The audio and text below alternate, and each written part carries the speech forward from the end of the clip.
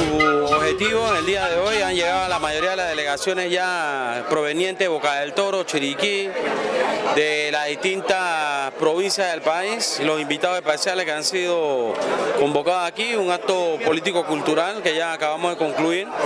Esperamos mañana en el Congreso revisar documentos fundamentales como el estatuto, como la plataforma de lucha, el documento de análisis político de la realidad actual que estamos viviendo, por un lado.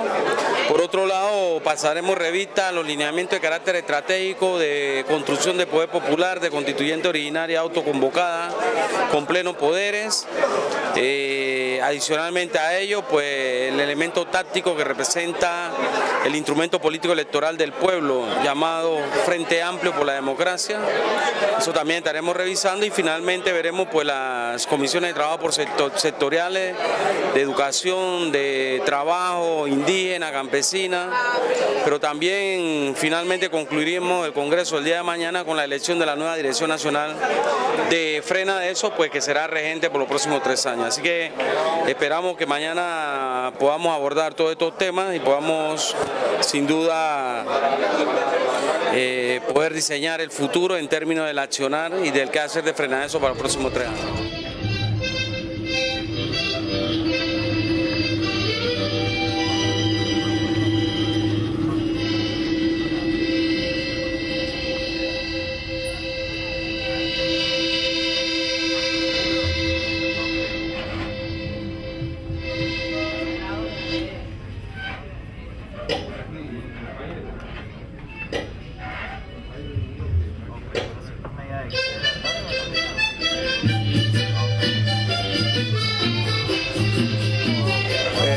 Este tercer congreso eh, se ha hecho presentaciones de lo que es la cultura panameña, ¿no? del folclore y los grupos indígenas, pero también es un acto donde se hacen presentes distintas organizaciones eh, que forman parte de Frena Eso, de los pueblos indígenas, también hay delegaciones internacionales presentes.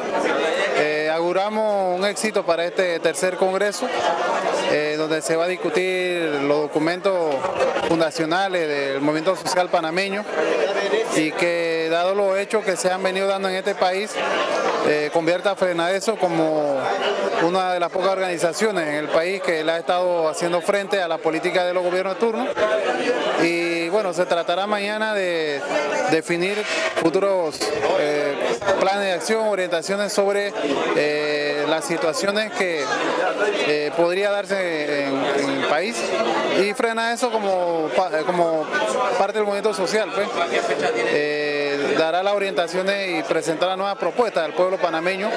Esto de las luchas que debe encararse y también la propuesta de eh, la nueva propuesta política electoral sobre el Frente Amplio por la Democracia.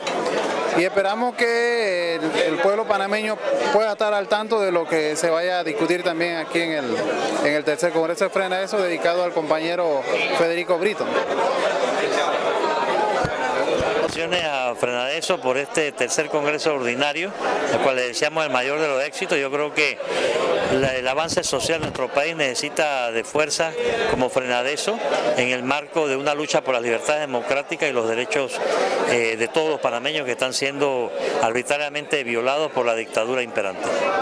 Bueno, camarada, ya veo, aquí estamos bien organizados, estamos viendo un partido de izquierda, bueno, que va rumbo al mismo trabajo que, bueno, aquí en Venezuela, ya en Venezuela estamos eh, este, eh, poniendo en, un grano de arena eh, para poner el socialismo en lo más alto, en lo más, en la cumbre, en toda Latinoamérica y Centroamérica que sea el socialismo el que manda, porque ya basta del capitalismo, ya basta de esa corrupción, necesitamos socialismo, para que sean reivindicados todas las personas, todo el pueblo, que sea reivindicado los estudiantes, que sea la juventud, los movimientos sociales, los campesinos y todas las, todas las culturas, todos los indígenas. Y bueno, aquí estamos apoyando, dando un grano de arena desde la JPSU Venezuela.